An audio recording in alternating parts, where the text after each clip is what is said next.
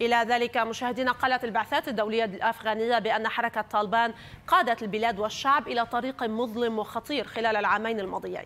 ودعت البعثات الدبلوماسية لإطلاق عملية سياسية وطنية لتشكيل حكومة جديدة حكومة شرعية جديدة. وذلك في الذكرى الثانية لتولي طالبان السلطة. كما طالبت البعثات الدبلوماسية المجتمع الدولي بالتمسك بموقفه الموحد بعدم الاعتراف بطالبان وعدم التعامل مع الحركة دون قيود أو شروط.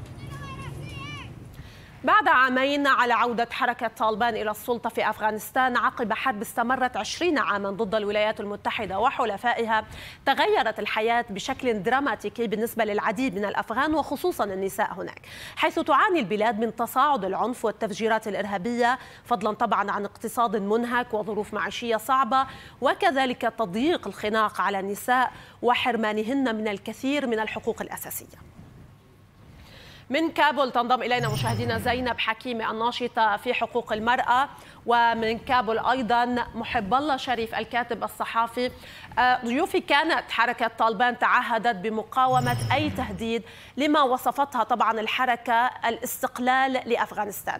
وكانت أيضا طالبان سيطرت على الحكم في أفغانستان في الخامس عشر من أغسطس 2021 بعد معارك انهارت فيها القوات الحكومية وزعمت أي طالبان هنا خلال العام الأول من حكمها تحقيق بعض الإنجازات كتراجع أعمال العنف في البلاد إلى حد ما. ولكن في العام الثاني من حكم طالبان تزايد العنف توترت الأوضاع بشدة في البلاد وتعددت التفجيرات والتي كان آخرها الأسبوع الماضي كما نعلم. كما أيضا تعرضت النساء الأفغانيات لانتهاكات بحقهن كحرمان النساء من التعليم والعمل وغيرها من الحقوق. زينب بعد سنتين من الانتهاكات كيف أصبح واقع المرأة اليوم في أفغانستان؟ كأمرأة أفغانية يعني تعيش الواقع هناك.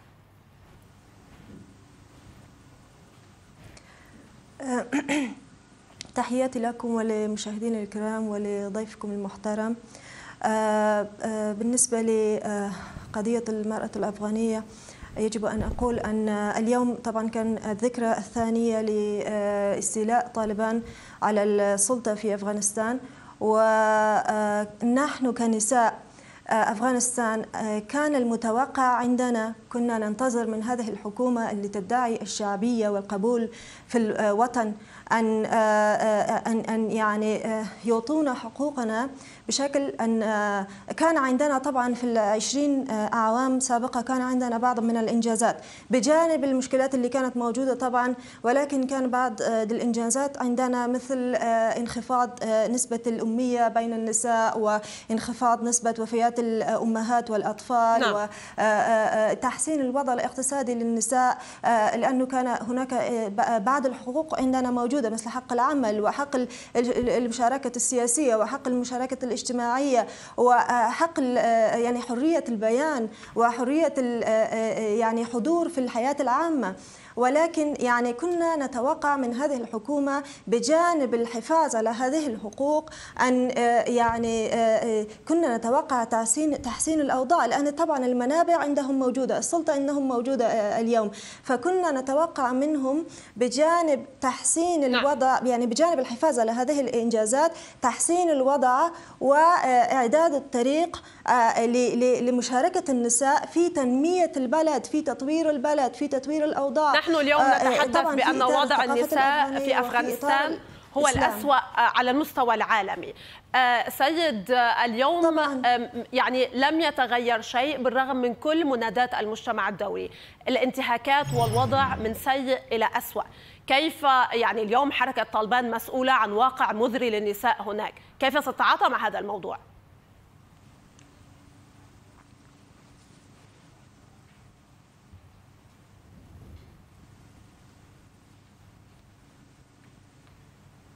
أه سيد هل تسمعنا؟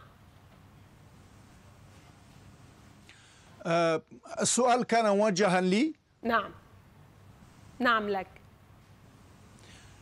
نعم هذا الأمر يعني لا يخفى على أحد من الشعب الأفغاني ولا نستطيع أن ننكره أصلا لأن الحركة يعني حركة طالبان سيطرت على جميع أنحاء البلاد وكانت لديها حالات ووضعية مناسبة لكي توفر جميع تلك الحقوق الإنسانية والشرعية والدولية المعترف عليها دوليا للسيدات وللشعب الأفغاني. وكذلك هناك يعني لا ننكر بعض تلك المكاسب التي كسبناها خلال فترة حركة طالبان لكن نحن لا نستطيع أن نغمض أعيننا عن تلك الحقوق التي أهملت حتى الآن في آه، حق المرأة آه، الأفغانية التي لها دور تاريخي وبارز في تاريخ أفغانستان والشعب الأفغاني وليس فقط في داخل أفغانستان إنما حتى كان خارج أفغانستان لها دور جميل وكذلك مسالم ودور له أمجاد وله مكاسب والشعب الأفغاني يفتخر به. لكن لا نستطيع أن ننحصر كل النتيجة بهذا الجانب بل هناك نقاط أخرى كذلك تعد على حركة طالبان إلى جانب تلك النقاط التي تعد لحركة طالبان في هذه الفترة التي فاتت لمدة سنتين كاملتين على مستقبل أفغانستان. يعني ردا على هذه النقاط التي تتحدث عنها لصالح حركة طالبان. وأنت تتحدث عن هذه الأمور وأيضا يعني بموضوع الانتهاكات النساء الأفغانيات كان لهم رأي مخالف لكل روايات طالبان. هم يصرون على أن طالبان تعادي النساء. دعنا نستمع إلى آراء بعض هذه النساء ونعود من بعدها شعور فظيع. وهو نفس الشعور قبل عامين عندما استولوا على البلاد وأجبروا الكثيرين على الفرار. لست سعيدة اليوم فطالبان لا يحكمون البلاد لمصلحة الشعب. لا أعلم لماذا هم سلبيون تجاه النساء. لم أتوقع أن تستولي طالبان على البلاد يوما ما وبعد أن نجحوا زادت قيودهم القمعية على النساء. بالنسبة لي فإن يوم النصر لطالبان هو أسوأ يوم لشعب أفغانستان. عندما تسمع نساء يعني هذا هذه ليست بالشهادة الجديدة. أسوأ يوم في تاريخ نساء أفغانستان هو عودة طالبان إلى الحكم. لماذا تصر طالبان على إنكار عدم وجود انتهاكات؟ وتعتبر بأن ما تفعله هناك هو شيء طبيعي يعني للنساء.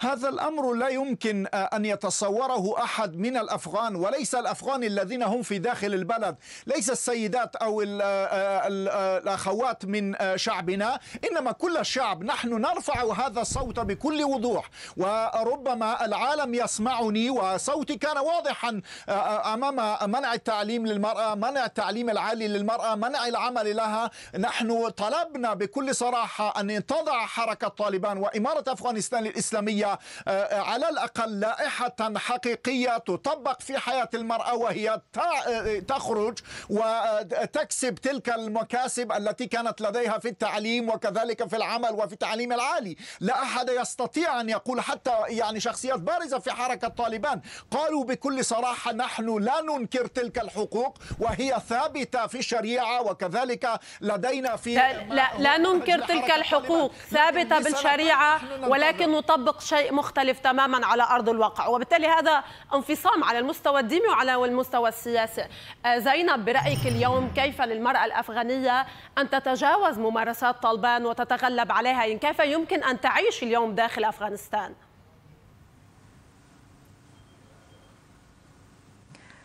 آه، طبعا نساء أفغانستان مع استيلاء طالبان على القدرة على السلطة في أفغانستان.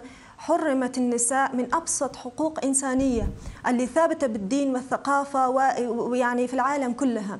حقوقها من التعليم حقها من العمل حقها من الحضور في الاجتماع في الجامعة حقها آه، من من من آه، من من الحضور في الملاعب الرياضية والحدائق وحتى من آه، من يعني أخيرا حرمت النساء من من العمل في الصلاه صلاة التجميل. يعني فضاء خاص بالنساء عمل خاص بالنساء للنساء. خدمة تقدم من النساء للنساء حرمت النساء منها. وحرمت من أي حضور سياسي حرمت من من أي عمل في الإدارات الحكومية وغير الحكومية. أين الحقوق اللي أعطونا طبعا لم يعطونا حقوق جديدة وحرمونا من الحقوق اللي كانت موجودة. هناك العديد من التقارير. فطبعا عندما نقول أن هذه هناك العديد من التقارير عن حالات حتى انتحار يعني الصحة النفسية اليوم والعقلية للنساء هناك أيضا هي محل نقاش ومحل علامات استفهام. هل هناك أي أرقام عن هذا الموضوع؟ باختصار لو سمحتي. الأرقام غير موجودة ولكن كل من يعني نحن الموجودين نحن الحاضرين داخل أفغانستان نحن نرى نحن نشاهد الجو الجو الغالب في أفغانستان بين النساء جو فقدان الأمل جو ضغوط نفسية جو يعني فقدان الثقة بالحكومة لأن الحكومة فشلت في تطبيق وممارسة يعني وعودها وتعهداتها قالوا بأن هم سوف يقومون بتحسين الوضع وإعادة تفتيح افتتاح افتتاح المدارس والجامعات ولكنهم مر عامين نعم. يعني هذه العام يعني هذين السنتين لم يكن لم يكن كافيا ل نعم. وصلت يعني الفكرة زينب سيد اليوم اليوم المجتمع الدولي يعتبر بأن ما يحصل هناك هو يرقى إلى مستوى الفصل الجنساني وبالتالي هي هو شيء يحاكم عليه المجتمع الدولي والقانون الدولي. سيد محب باختصار جواب على هذا السؤال لو سمحت. نعم أنا لا أعتبر أن هذه التصريحات هي تصريحات غير عملية بتة إنما أراها مهملة منذ البداية منذ التوقيع على اتفاقية دوحة. أين كان هذا المجتمع الدولي حتى يعطي صورة عملية حقيقية للمرأة الأفغانية ليست وحدها فقط وإنما للشعب الأفغاني بأكملها؟ بأكمله لابد أن تكون يعني لم لم لم تكن هناك برامج حقيقية قابلة للتنفيذ حتى يتم نقل تلك السلطة من حكومة الجمهورية إلى حكومة طالبان على الأقل بكل وضوح وبمشاركة أفغانية وتحت قواعد ومقررات واضحة للجميع حتى يكون هناك اشتراك للجميع في هذه الحكومة القادمة. وكنا يعني نصون البلد من الوقوع في هذا المأزق. اليوم لو تجرون حركة طالبان إلى المحكمة الدولية ماذا ينفعنا؟ نعم. سنتين يمر على هو, هو واقع كل نقل السلطات الذي يحصل بهذه جداً. الطريقة في في دولنا طبعا. شكرا لكم ضيفي من كابول محب الله شريف الكاتب الصحافي وأيضا زينب حكيمة الناشطة في حقوق المرأة. شكرا لكم. لمتابعة المزيد من الأخبار والبرامج والقصص الإنسانية والوثائقيات والتقارير الإخبارية لا تنسوا الاشتراك في قناتنا على يوتيوب الضغط على زر الإعجاب وتفعيل جرس التنبيهات.